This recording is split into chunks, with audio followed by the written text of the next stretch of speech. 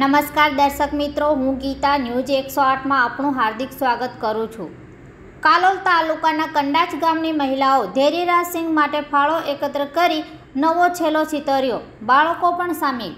કાલોલ તાલુકાના નાનકડા એવા કંડાચ ગામની મહિલાઓ તથા તેઓની સાથે નાના બાળકો ધેરીરાજ સિંહ માટે દાનનો ફાળો ઉઘરાવી રહ્યા છે.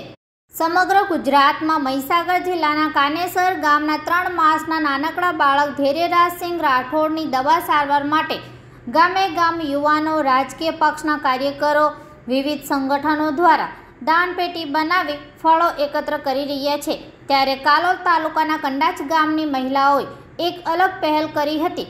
ગામના યોગનીબેન ગોહિલને પોતાના જન્મદિવસ નિમિત્તે એક વિચાર આવ્યો કે જન્મદિવસ મનાવવાના બદલે આજથી ધૈર્યરાજસિંહ માટે દાન એકત્રિત કરવું છે અને આ સુંદર વિચારમાં ગામની અન્ય મહિલાઓ ભાવનાબેન ગોહિલ, ઉર્વશીબેન, નીતિલબેન, હેમાંગનીબેન, દિશાબેન, યશવીબેન, રીતવીબેન, હનીબેન, પંથુબેન રૂહીબેન દ્વારા તેઓને સુંદર સહકાર આપ્યો. આ તમામ મહિલાઓએ નાનકડા એવા કંડાચ ગામ તથા તેમના નજીક આવેલ દેલોલ ગામમાં ફરી ઘરે ઘરે તેમજ દુકાનોમાં જઈ ધૈર્યરાજ માટે દાનની હાકલ કરતા નાનકડા એવા ગામમાંથી દરેક લોકોએ પોતે યથાશક્તિ દાનપેટીમાં દાન આપ્યું. આ ઉપરાંત આ મહિલાઓ સાથે નાનકડી બાળ સેના જેમાં આઠ જેટલા બાળકો દ્વારા ધૈર્યરાજના પોસ્ટર લઈ દાન માટે અપીલ કરી.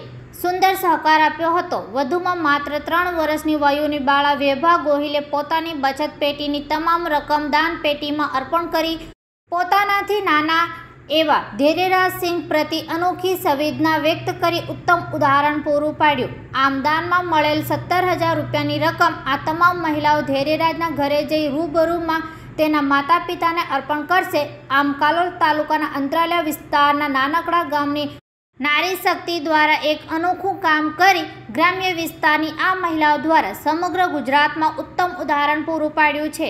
રિપોર્ટર મુસ્તફા મિર્ઝા ન્યૂઝ એક શોર્ટ, કાલોલ.